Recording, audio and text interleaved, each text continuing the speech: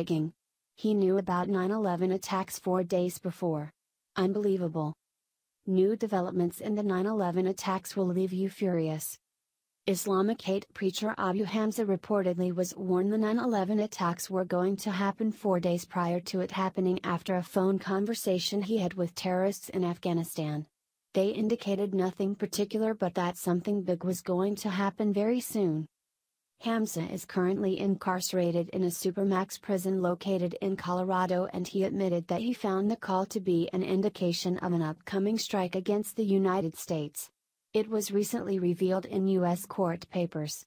It was also reported that he alleges British spies were hacking his phone and that is how they came to find out about this conversation. Which raises questions over how much the British knew in advance and why they did not warn the United States of an impending attack. The Daily Mail reported. The court documents, seen by the Sunday Times, also reveal Hamza served as an agent for M15 and Special Branch using the code named Berry. Nearly 3,000 people died after Al Qaeda terrorists flew hijacked airplanes into the World Trade Center in New York and the Pentagon in September 2001. The allegations about Hamza's knowledge of the attacks come after a picture emerged of the hate preacher cutting a shrunken and pathetic figure without his infamous hooks. Two years of solitary confinement has taken its toll on the hate preacher, who has launched an appeal claiming his prison conditions are a breach of his human rights. Despite only being 59, his hair and beard are now completely white and his sturdy frame has morphed into a scrawny shape. The former Imam of North London's Finsbury Park Mosque has registered an appeal against his incarceration at the high security Colorado prison ADX Florence. The convicted hate preacher, 59, claims his conditions at the prison are a breach of his human rights under Article 3 of the European Convention which protects people from inhuman and degrading treatment. Since he was convicted of 11 charges in October 2015, he has been kept in solitary confinement, only being allowed out of his cell for an hour a day, the Sunday Times reports.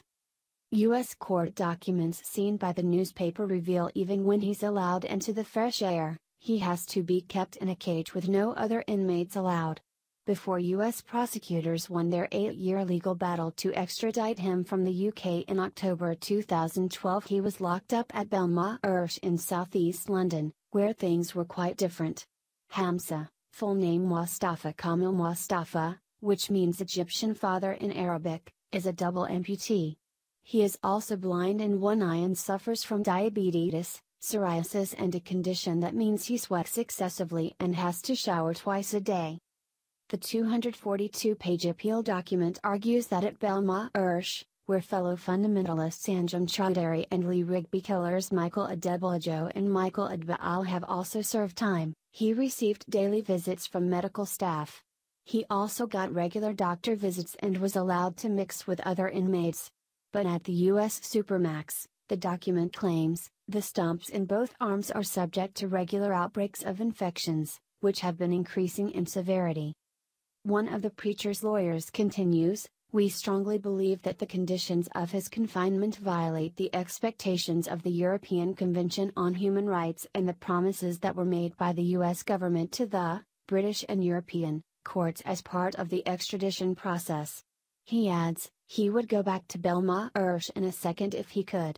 ADX Florence holds 410 male inmates, who are often deemed too dangerous or too much of a national security risk to be at one of the country's high security jails. Notable inmates include Ted Kaczynski, the Unabomber and Boston Marathon bomber Dzhokhar Tsarnaev. Lawyers are allegedly hopeful about his chances of appeal, which are being financed by the US taxpayer.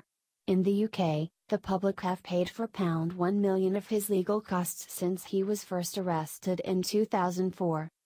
In all likelihood the British, if they were even spying which it cannot be confirmed they were, likely thought the threat of something big happening was just a general threat. Given the lack of specifics there wasn't anything they could tell American authorities that would have prevented 9-11. However, it still would have been good to know. And for Hamza to have the audacity to complain about his human rights being violated is truly rich and poetic. Someone as inhuman as he is to spread hate speech and to keep communication with known Islamic terrorists should not be complaining about his human rights. Did he think of the rights of the thousands of Americans who died during 9 11? Didn't they deserve to have their rights considered before they were murdered?